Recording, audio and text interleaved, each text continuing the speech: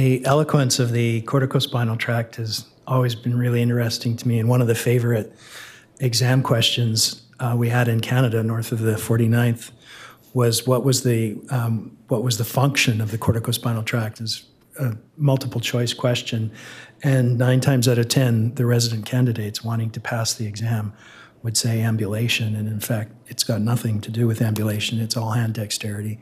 Ambulation is subserved almost unconsciously by the vestibulospinal and reticulospinal pathways, and corticospinal is that in, in both Dr. Aarabi's talk and my talk on central cord, that's why the hand goes first.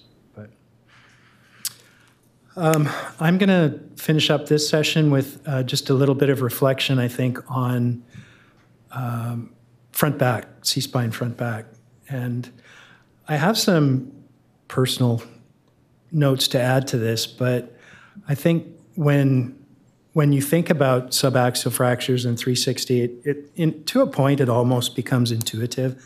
I think when when a person needs to do a front back, with a couple of exceptions. And leading into that, I wanted to just remind everybody about the instantaneous axis of rotation, a fairly simple biomechanical concept, but I think is, is so applicable in trauma because if you think about what happens uh, under traumatic forces, the first thing the spine wants to do is to follow its normal biomechanical pathway. And then, as the force increases, it exceeds its biomechanical pathway and failure occurs, right? Whether it's ligamentous or bony. But by far and away, most the most common kind of subaxial fracture patterns we see involve flexion and and that instantaneous axis of rotation is right up here where it's where it's occurring and so you can almost um, you you can you can anticipate that hyperflexion is going to cause compression because the instantaneous axis is in the body whereas an extension injury the instantaneous axis is way in front and it, so it's going to pivot on the facet joints so it's I think this helps helps me to try and understand trauma better. And then the other thing that that I think is important, so important, are the ligaments. And we kind of heard allusion to that um, in Tim's talk earlier, but uh, it's also interesting to consider how strong the ligaments are. And this is this is a force in newtons on the on the y-axis it takes to to destroy a ligament. And you can see if you look across the board the lumbar ligaments, duh, are much stronger than the thoracic ligaments, and the cervical ligaments are among the weakest. Although, when you look at the facet capsules, look at look at how they perform the capsular ligaments in the cervical spine it's, it's almost the same as the thoracic spine. So, a very important, very strong ligament when it comes to thinking about trauma. If you've disrupted your facet capsule, that's going to be an important player. Whereas, if, if only the interspinous ligament is at question, but the capsular ligament's intact, then you probably have, still have a really stable spine. Uh, if we take that a little bit farther into the, um, the axial spine and not just the subaxial spine, we can see here the ligaments from C2 to C7 on the first row.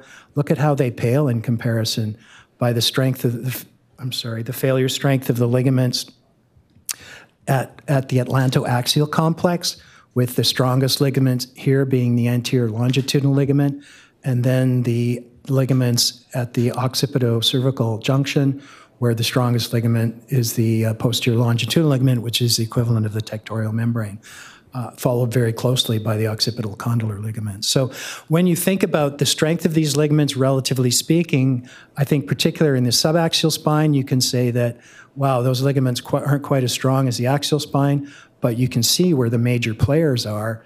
It's going to be um, ligament flavum and capsular ligament uh, in the subaxial spine. So, those are ligaments that you want to pay attention to.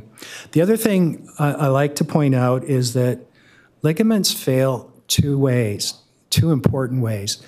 They fail in distraction, not in compression. So if you've got a loading force on your on your subaxial spine injury that's caused some type of compression, you will not anticipate the ligament to fail, right? And the other thing is that ligaments fail in concert. They don't fail in isolation. And yes, there are a couple of exceptions. You can imagine isolated failure of the supraspinous or interspinous ligament, but then if the capsular ligaments don't fail, it's irrelevant anyway, right? So clinically important ligament, ligamentous failure occurs in concert, not in isolation. And, and those are two concepts actually that I can promise you radiologists do not get. They do not understand that. And so if you're if you're relying on your radiologist to help you make a diagnosis of instability, which is going to lead you on to 360, be careful because at least our institution, as I'm going to show you in a minute, that that's very thin ice. I think whether you um, whatever classification system you use, and this is just a timeline from the 1930s uh, all the way up to most recently 2020, and you can see where the different classification systems came into play. Uh, I wanted to point out that White and Panjabi had two columns, and Anderson defined four columns. There is really no three column model that's been described for trauma in the cervical spine. So before you stick your neck out and start talking about a three column injury in the cervical spine, be careful because I haven't been able to find one. Um, and then for most neurosurgeons, uh, we still just rely on the old anatomical classification system where you describe the type of fracture, and you're supposed to remember what kind of um, failure pattern goes along with it. And I think that even today, this is still completely acceptable. But if we get back to the to the 360 issue, in my mind, the easiest way to think of a 360, an indication for a 360, is when there's failure of both the anterior and the posterior column. It could be ligamentous, it could be bony, but when you've got failure of both, that's when you're probably looking at, at a 360. Um, we did a we did a, a, look at our own institution about oh I missed this slide. This this to me was a, a pivotal study, and, and Rick kind of mentioned this I think last night in one of the case presentations. But one of the things that we often wonder is where do you with facet problems where do you stop with anterior only, and when do you go posterior? and it was um, Mike Johnson, Charles Fisher, Mike Boyd, uh, Oxland, Tom Oxland, uh, who's a bio, bio, bio, what's the word I'm looking for? Not a biochemist, a, um, biomechanics guy. Tom's a great guy. And Marcel Dvorak that put together this paper based on their experience. And as Rick appropriately pointed out last night, when you start to see failure of this superior end plate, associated with even unilateral facet fractures, that's a high prognostic indicator that you're going to have pr- pr- problems in the anterior column and it's not going to be held up by a single anterior construct. Anterior cervical plates are notorious for failing in translation. And, and when you add um, kyphosis to that, it, it's a setup. So I, I think I would echo uh, what Dr. Sasso said yesterday. If you see this kind of pattern, you should be thinking of something more than just isolated anterior fixation. Back to the MR imaging, we, we looked at a prospective continuous cohort uh, study in our own retrospective series. It's prospective The data is retrospective, absolutely, but the patients were identified as they were coming through the hospital. And Maurizio, um, I, he might have disappeared a little bit, but he was he he's currently Jens Fellow. He was responsible for this study over a two-year period. We looked at patients that uh, had C-spine trauma. They were cooperative, so they weren't obtunded, and they all had a normal CAT scan. And then, for whatever reason, they underwent MR imaging, and it wasn't because it wasn't because we asked for it.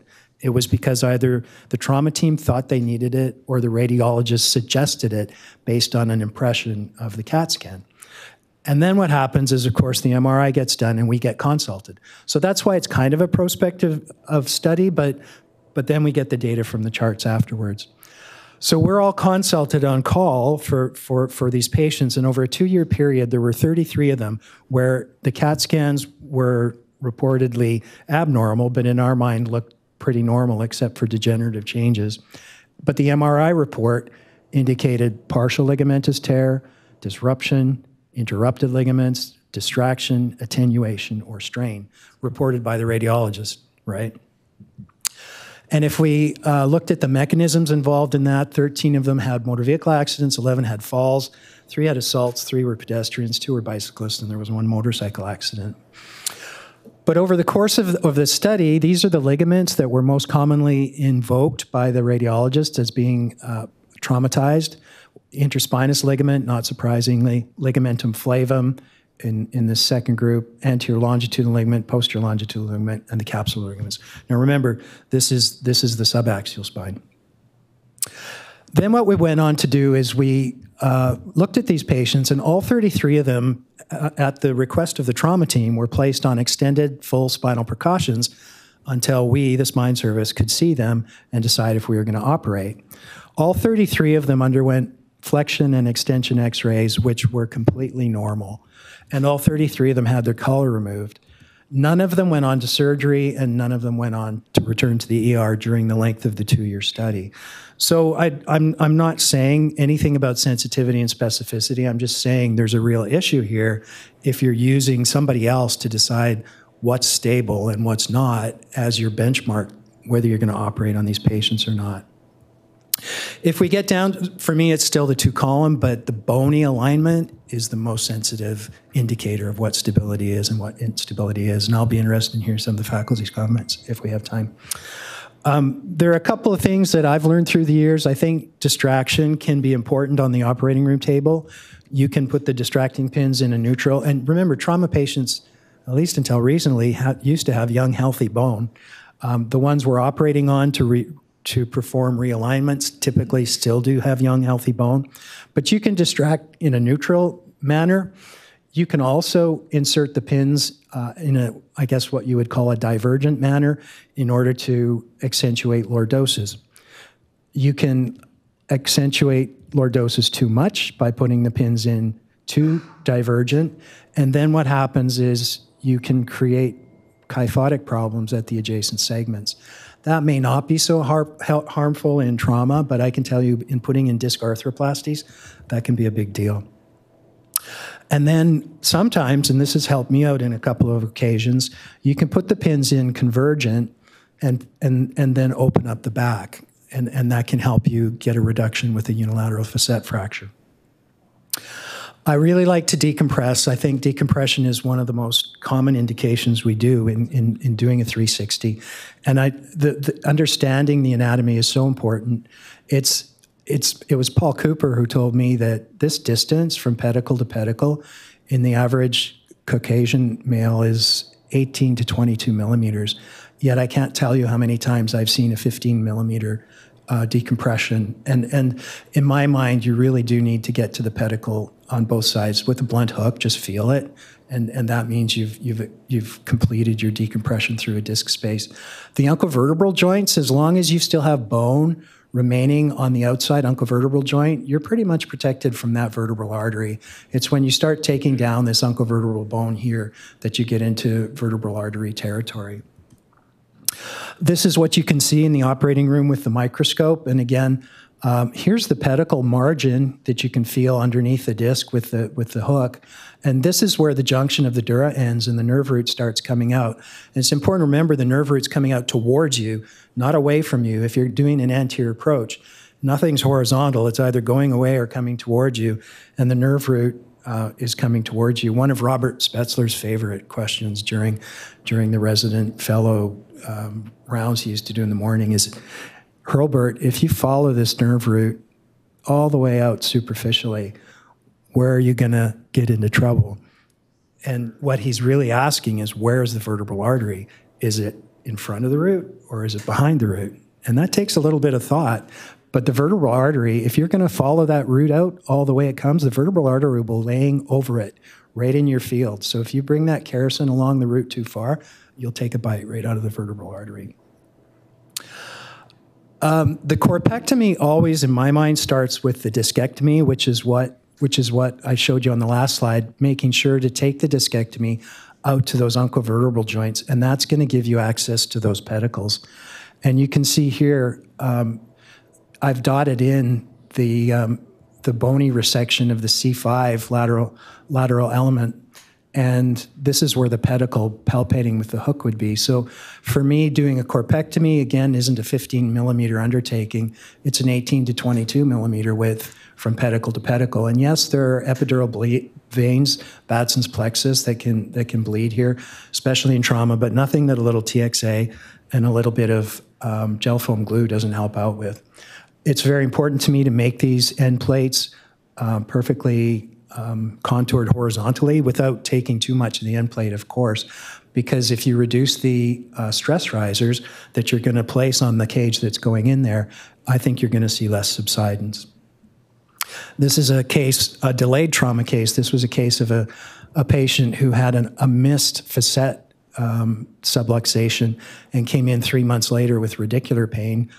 And this was, for me, showing if you do the corpectomy and put the cage in, nowadays, the, the amount of reduction you can get with an anterior cage that is expandable is, is really incredible. And, and for me, this is also an example of why, in my preference, if I'm going 360 and there's a kyphotic deformity, I'll try and do the anterior first um, because that will provide me with the most reduction. If, if I had posterior screws in here already, trying to get that kind of reduction with this cage, I'd be fighting those screws. And I, I don't think that would be good for the, for the health of the construct. This was the same case. This is the corpectomy at the time of surgery. And then with the cage in, you can see the amount of expansion monitoring intraoperative evoke potentials, and the patient the patient did fine. So, in summary, uh, I think for me, a 360, the indications are really failure of both columns, ligamentous or bony. Remember that superior end plate is important. You just can't rely on an anterior construct alone if, if there's a superior end plate violation. Evaluation is through CT scan, biomechanics, uh, not for me, not MRI. I know we included that in the SLIC scale. Um, we had to because there were a lot of people that that did feel that MRI was important, so it became it became a waffle point. It became an indeterminate if the MRI was indeterminate. The priorities are always in order. Number one, when it's indicated, decompress. Sometimes decompression can be achieved by realignment. That's also important. And then the final priority is to, is to stabilize. Uh, and the pearls, as I, meant, as I mentioned, for me, decompress to the pedicles, anterior first, if, if, if I can, and then uh, pedicle screws, as we kind of heard about in C71. But I do mine with laminotomies, so I can actually palpate the pedicle and put the screws in under direct vision. And I'm never, I'm never afraid to do a front back front or a back front back as a backup if I don't get the reduction I want. I've had a few cases going anteriorly with a unilateral or bilateral jump facet where I can't get that reduction open, and I'll have to close up, go back behind, take the facet down, pull the patient back. But at least by going anterior, I've got the disc out, and I know when I pull that body back, it's not going to push disc back into the cord. So that's just my own experience. Jens, that's what you asked for. I hope. I hope It's awesome. It's helpful. Great. Thank, you so much. Rick, any comments? Do you have a microphone? Right behind you. Right behind you. Decision making anterior posterior biomechanics. You've done several publications on this, in fact. Outstanding. Yeah. Outstanding. Thank you. Thank you. Coming from the master, but thank you. I love the um, tidbits and the beautiful pictures on the proper decompression underneath the uncovertebral joints of the lateral recess and the takeoff of the roots. That's beautifully shown. So, so thanks again. Uh, can we switch to the lab and have a life sign of Dr.